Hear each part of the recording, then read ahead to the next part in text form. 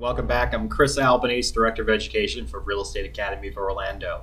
Uh, back with another math question here. Uh, the question we're looking at next is going to be a uh, variable or uh, index lease. Uh, index lease typically is going to be found in a commercial property.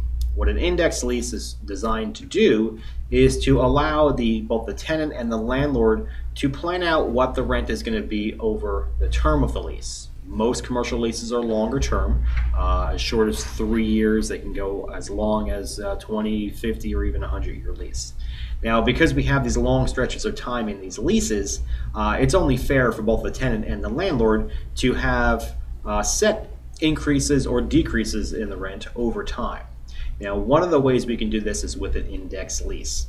A lot of times with an index lease, we'll tie the lease itself to uh, a verifiable index number like the consumer price index. So if we tie it to the, the CPI, if the consumer price index goes up by 25% and the lease renews every year or the, the rent readjusts every year, uh, when the consumer price index goes up, the rent goes up. CPI goes down, the rent would go down. That's the general idea behind an index lease. So let's figure out how we answer one of the questions here.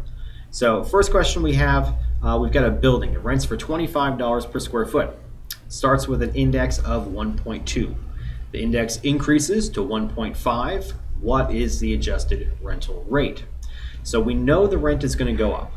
Now, before we even get into any math here, just a, a tip on uh, handling multiple choice questions. Both the school test is going to be multiple choice and the state exam is also multiple choice.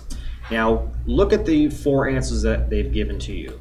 Do any of those answers, uh, are they less than $25 per square foot? If they are, then that would mean the rent is going down. We know those are automatically wrong. Just looking at the question, it tells us the index increases.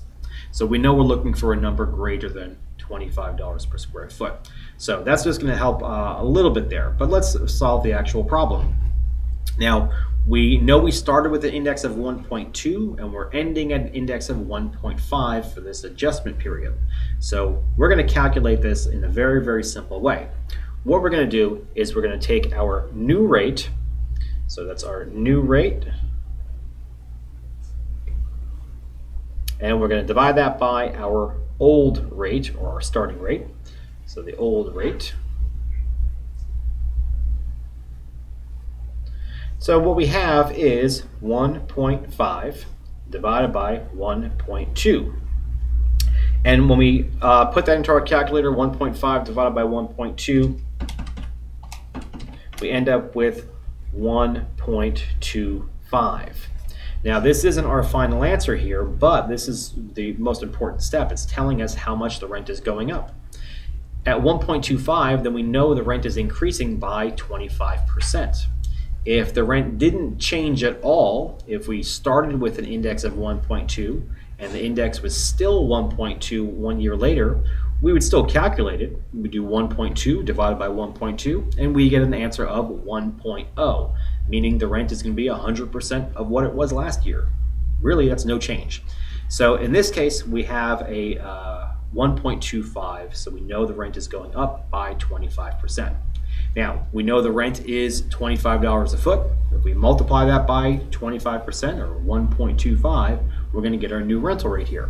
So we have 1.25 times $25 a foot and our new rental rate is $31.25 per square foot.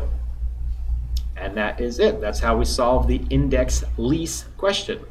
If you have any other questions like this, please let us know. Uh, reach out to us at info at reaorlando.com or visit us on the web at realestateacademyoforlando.com. Again, Christopher Albanese, I'm Director of Education here. Uh, we look forward to seeing you in class.